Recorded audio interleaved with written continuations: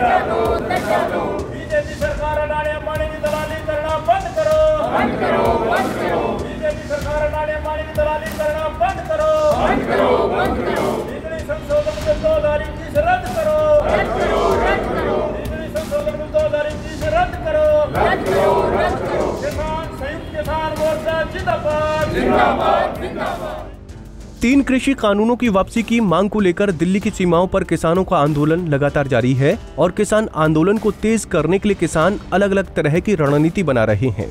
और इसी कड़ी में संयुक्त किसान मोर्चा ने 27 सितंबर को पूरे भारत बंद का ऐलान कर रखा है, जिसके चलते सोनीपत ज़िले में भी किसान भारत बंद को सफल बनाने के लिए बैठक कर रहे हैं। आज सोनीपत की छोटू राम धर्मशाला में किसानों ने एक अहम बैठक की और बैठक में किसानों ने आम जनता को अपील की कि वो 27 तारीख को बेवजह घरों से न निकलें, क्योंकि 27 तारीख को किसान पूरे भारत को बंद करेंगे। यानी कि सड़क मार्ग के साथ साथ रेलवे का भी चक्का जाम रहेगा। 27 तारीख को संपूर्ण भारत बंद किया जाएगा। सोनीपत में संयुक्त किसान मोर्चा की आज मीटिंग हुई है और ये ड्यूटियाँ लगा दी गई हैं कि चाहे पूरा सोनीपत है, चाहे गोहाना है, चाहे गन्नौर है, चाहे खरखोदा है, सोनीपत के हर गाँव में, हर कस्बे में पूर्ण रूप से बंद रहेगा।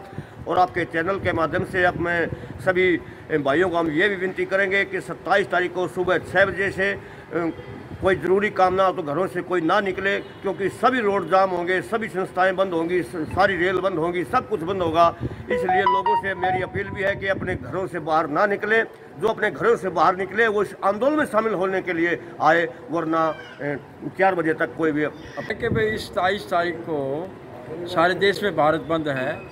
और भारत बंद का मतलब है कंप्लीट भारत बंद।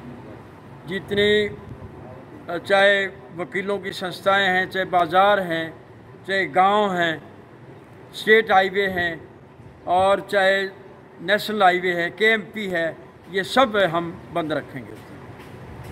जिस तरह सुप्रीम कोर्ट के आदेश के बाद कोर कमेटी हरियाणा सरकार ने बनाई है वो बातचीत करने की कह रही थी, किसान नेता वहाँ नहीं पहुँचे, और वो आप भी कह रहे हैं कि हम किसानों से बातचीत करेंगे किस तरह देखते हो? ये बड़ा षडयंत्र है कंस्पिरेसी है सरकार की, और सरकार जो है, हमने तो कोई सड़क बंद नहीं की। हम तो सताईस तारीख को, सताईस नवंबर 2020 में दिल्ली जा रहे थे। वह जो दिल्ली की पुलिस थी, हरियाणा की पुलिस ने हमें बॉर्डर पर रोक लिया। हमने तो कोई सड़क रोकी ही नहीं। गौरतलब है कि तीन कृषि कानूनों के विरोध में दिल्ली की सीमाओं पर किसानों का आंदोलन पिछले साढ़े नौ महीने से जारी है। किसान और सरकार के बीच में बातचीत का दौर बिल्कुल बंद है और किसान इस आंदोलन को और तेज करने के लिए अलग अलग तरह की रणनीति बना रहे हैं। संयुक्त किसान मोर्चा के आह्वान पर 27 सितंबर को भारत बंद को सफल बनाया जाएगा, यानी कि पूरे देश भर में चक्का जाम किया जाएगा। केवल आपातकालीन सेवाओं को ही आने जाने के लिए छूट दी जाएगी। सोनीपत से पवन राठी, पंजाब केसरी टीवी। हमसे जुड़े रहने के लिए हमारे YouTube चैनल को सब्सक्राइब करें और नई वीडियो की नोटिफिकेशन के लिए बेल आइकॉन को दबाएँ।